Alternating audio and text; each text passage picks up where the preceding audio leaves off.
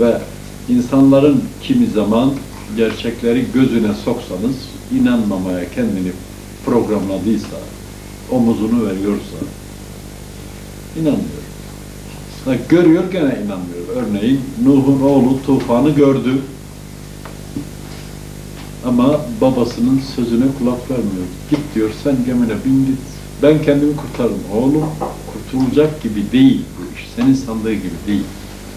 Ben diyor dağlara çıkar gene kurtulurum oğlum. Dağ ma kalmayacak. Her yer sular altına altında kalacak. Ve kurtulman imkansız. Gel gemime.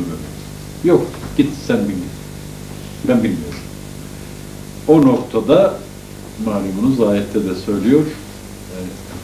o ehlimi alayım diyor. Yani ehlim hani sülbümden olan çoluğum, çocuğum, işte yakınlarım. Allah diyor o senin ehlin değil.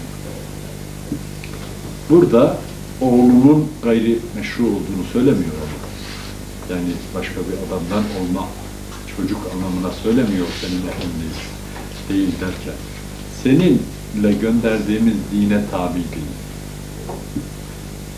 Sana uymuş değil anlamında senin ehlin.